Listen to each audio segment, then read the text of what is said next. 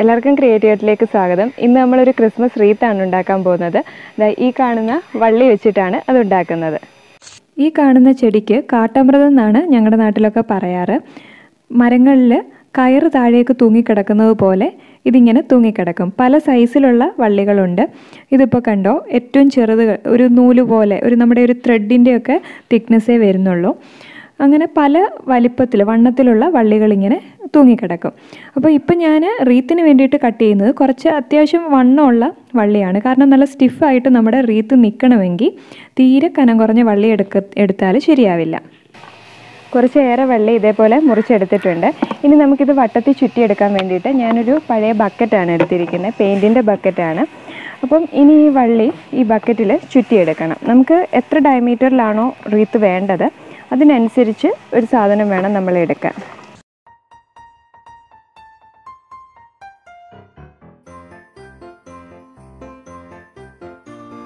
ഈ ഒരു ഡയമീറ്ററാണ് കിട്ടിയിരിക്കുന്നത്.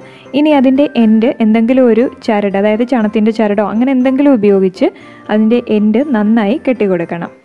നല്ല ടൈറ്റായിട്ട് തന്നെ കെട്ടണം. ഇനി ബാക്കി വള്ളികളും കൂടെ ഇതിൽ ചുറ്റിയെടുക്കണം. ഞാനിപ്പോൾ ഇങ്ങനെ വെറുതെ ചുറ്റിയല്ല ഇതിന്റെ ഉള്ളിലൂടെ കയറ്റി ഇങ്ങനെയാണ് ചുറ്റുന്നത്. അപ്പോൾ നമ്മുടെ ഈ ബേസ് ഒന്നുകൂടെ സ്ട്രോങ് ആവും. അതായത് ഈ റീത്തിന്റെ ബേസ് നല്ല സ്ട്രോങ് ആയിട്ടിരിക്കും. അതിന് വേണ്ടിയിട്ടാണ് ഇങ്ങനെ ഉള്ളിലൂടെ എടുത്ത് ചുറ്റുന്നത്.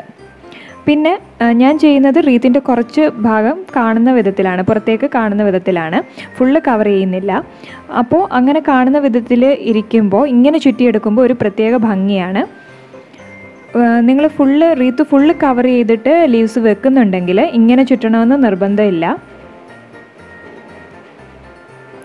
ഇനി അതിന്റെ എൻഡ് ചണത്തിന്റെ ചരട് ഉപയോഗിച്ച് നല്ല ടൈറ്റായിട്ട് കെട്ടിക്കൊടുക്കുകയാണ്.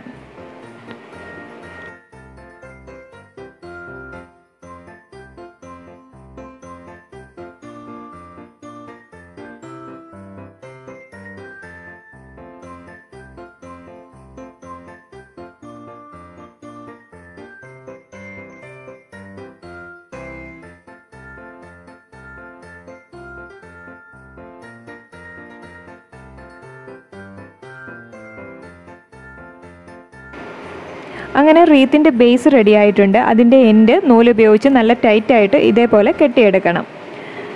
ഇനി ഞാൻ വൈറ്റ് കളർ പെയിന്റ് അപ്ലൈ ചെയ്യുന്നുണ്ട്. സ്പ്രേ പെയിന്റ് ആണ്. ഈ ഒരു സ്റ്റെപ്പ് സ്കിപ്പ് ചെയ്യാവുന്നതാണ്. കാരണം ഞാനിപ്പോൾ ഇവിടെ ചെയ്യുന്നത് കുറച്ച് ഭാഗം ഈ റിങ്ങിന്റെ കുറച്ച് ഭാഗം പുറത്തേക്ക് കാണുന്ന വിധത്തിലാണ് ചെയ്യുന്നത്. അതുകൊണ്ട് മാത്രമാണ് ഞാൻ പെയിന്റ് അടിച്ചത്.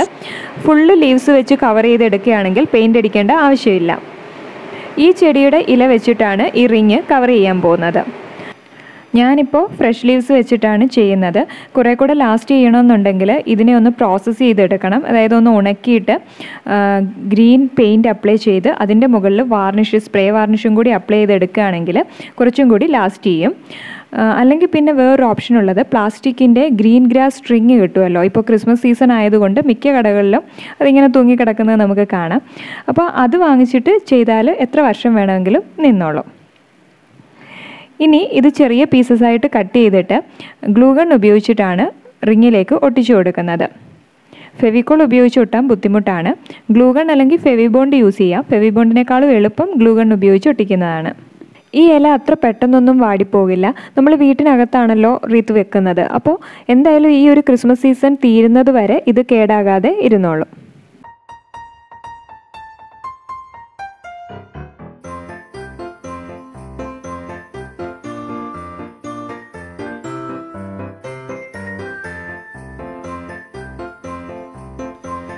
ഇനി ഈ റീത്തിൽ വെക്കാൻ വേണ്ടിയിട്ട് നമുക്കൊരു ഫ്ലവർ വേണം. ഈ പാറ്റേണിന്റെ ലിങ്ക് ഡിസ്ക്രിപ്ഷൻ ബോക്സിൽ കൊടുക്കാം. ഞാൻ രണ്ട് കളറ് ക്രേ പേപ്പർ യൂസ് ചെയ്തിട്ടാണ് ഫ്ലവർ ഉണ്ടാക്കുന്നത്. ഒന്ന് റെഡും ഒന്ന് ഗ്രീനും ഒരു പേപ്പറിന് അഞ്ച് രൂപയാണ് വില വരുന്നത്. അപ്പോൾ ആ പാറ്റേൺ ഞാൻ ഒരു പേപ്പറിലേക്ക് വരച്ചെടുത്തിട്ട് കാർബൺ പേപ്പർ ഉപയോഗിച്ച് റെഡ് കളർ ക്രേ പേപ്പറിലേക്ക് ട്രേസ് ചെയ്തെടുത്തു. ഇനി ഒരു കത്രികയോ ബ്ലേഡോ ഉപയോഗിച്ച് അത് കട്ട് ചെയ്തെടുക്കണം. ഇതിപ്പോൾ യെല്ലോ കാർബൺ യൂസ് ചെയ്ത് ട്രേസ് ചെയ്തതുകൊണ്ടാണ് ക്യാമറയിൽ ശരിക്കും തെളിഞ്ഞ് കാണാത്തത്.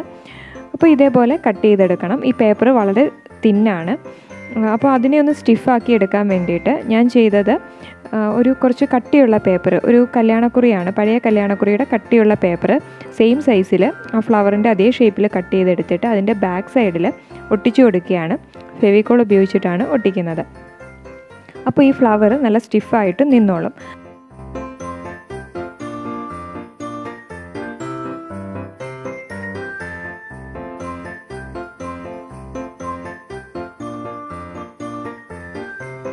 ഇതേപോലെ ഡിഫറെന്റ് സൈസസിലുള്ള മൂന്ന് ഫ്ലവേഴ്സ് ചെയ്തെടുത്തിട്ടുണ്ട്. ഏറ്റവും താഴെ ലീവ്സ് പോലെ വെക്കാൻ വേണ്ടിയിട്ട് ഗ്രീൻ കളറിലും ഒരെണ്ണം ചെയ്തെടുത്തിട്ടുണ്ട്. ഇനി ഇതിങ്ങനെ ഒന്ന് ബെൻഡ് ചെയ്ത് കൊടുക്കാം.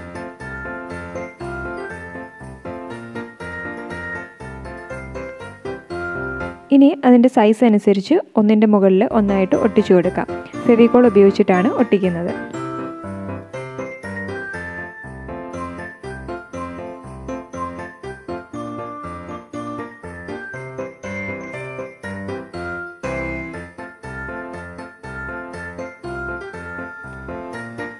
ഇനി ഈ ഫ്ലവറിന്റെ നടുക്കായിട്ട് ഗോൾഡൻ കളർ ബീഡ്സ് മൂന്നെണ്ണം വെച്ച് കൊടുക്കുകയാണ് അത് ഫെവിബോണ്ട് ഉപയോഗിച്ചിട്ടാണ് ഒട്ടിച്ചു കൊടുക്കുന്നത്.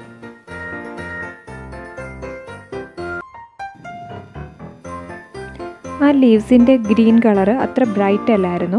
അതുകൊണ്ട് ഞാൻ കുറച്ച് അക്ലി പെയിന്റ് ആ ലീവ്സിന്റെ പുറത്ത് അപ്ലൈ ചെയ്ത് ഇതേപോലെ ഒരു ഷെയ്ഡ് ആക്കിയിട്ടുണ്ട് ഇനി ഗ്ലൂഗൺ ഉപയോഗിച്ച് റീത്തിലേക്ക് ഫ്ലവർ ഒട്ടിച്ചു കൊടുക്കാം.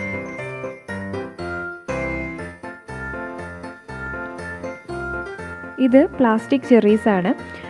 ഇതും കൂടി റീത്തിലേക്ക് വെച്ച് കൊടുക്കുകയാണ്. ഇത് മസ്റ്റ് അല്ല കേട്ടോ നമ്മുടെ കയ്യിൽ എന്തെങ്കിലും മുത്തുകൾ വൈറ്റ് കളർ പേൾസ് അല്ലെങ്കിൽ റെഡ് കളർ ഈ രണ്ട് കളേഴ്സ് നമ്മുടെ മാലയുടെ മുത്ത് കയ്യിലുണ്ടെങ്കിൽ അത് ഒട്ടിച്ചു കൊടുത്താൽ മതി. ഇതിപ്പോൾ എന്റെ കയ്യിൽ ഇതുള്ളത് കൊണ്ടാണ് ഇത് വെച്ച് കൊടുത്തത്.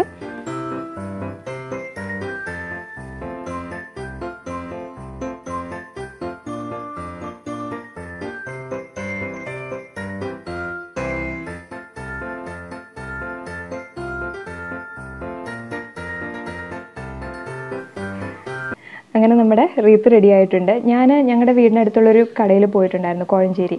അവിടെ ക്രിസ്മസ് റീത്ത് കണ്ട് അതിന്റെ പ്രൈസ് അഞ്ഞൂറ്റി നാൽപ്പത് രൂപയാണ്. അത് കണ്ട് ഞാൻ ഞെട്ടി. അപ്പോൾ വിചാരിച്ചു ഒരു അമ്പത് രൂപയ്ക്കുള്ളിൽ ഇതെങ്ങനെയെങ്കിലും ചെയ്തെടുക്കണമെന്ന് തോന്നി. അങ്ങനെ ചെയ്തതാണ്. പിന്നെ ഇത് ലോങ് ലാസ്റ്റിംഗ് അല്ല കേട്ടോ. നമ്മൾ ഫ്രഷ് ലീവ്സ് അല്ലേ ഉപയോഗിച്ചിരിക്കുന്നത്. അപ്പോൾ ഈ ക്രിസ്മസിന് എന്തായാലും ഇത് നമുക്ക് ഉപയോഗിക്കാം. അടുത്ത ക്രിസ്മസ് വരെ ഇത് തോന്നുന്നില്ല. പിന്നെ കുറച്ചുകൂടി ഇതിന്റെ ലൈഫ് എക്സ്റ്റെൻഡ് ചെയ്യാൻ വേണ്ടിയിട്ട് ഈ ലീവ്സ് ഒന്ന് ഡ്രൈ ആയി വരുമ്പോൾ ഗ്രീൻ കളർ സ്പ്രേ പെയിന്റ് വാങ്ങിച്ച് അപ്ലൈ ചെയ്താൽ കുറച്ചുകൂടി നമുക്ക് കുറച്ച് കാലം കൂടി ഇത് നിൽക്കും അപ്പോൾ സ്പ്രേ പെയിന്റ് അപ്ലൈ ചെയ്യുമ്പോൾ ഈ ചെറീസ് ഒക്കെ എടുത്ത് മാറ്റിയിട്ട് ഫ്ലവറിന്റെ ഇവിടെയൊക്കെ ഒന്ന് കവർ ചെയ്യുക അല്ലെങ്കിൽ ഫ്ലവർ എടുത്ത് മാറ്റിയിട്ട് നമുക്ക് വീണ്ടും ഒട്ടിക്കാം. അങ്ങനെ ചെയ്താലും മതി. ഓക്കെ പിന്നെ ആമസോണിലൊക്കെ നോക്കുകയാണെങ്കിലും ഇതിന്റെ വില ഒരു above five hundred up to thousand something ഒക്കെ വരുന്നുണ്ട്. അപ്പോൾ അതിലും നല്ലതല്ലേ നമ്മുടെ ചുറ്റുമുള്ള സാധനങ്ങൾ വെച്ചിട്ട് വളരെ കുറഞ്ഞ ചിലവിൽ നമുക്ക് ചെയ്തെടുക്കാൻ പറ്റും. ട്രൈ ചെയ്ത് നോക്കുക. മറ്റൊരു നല്ല വീഡിയോ ആയിട്ട് വീണ്ടും കാണാം. നമ്മുടെ വോളിലൊക്കെ ഇതേപോലെ തൂക്കിയിടാം.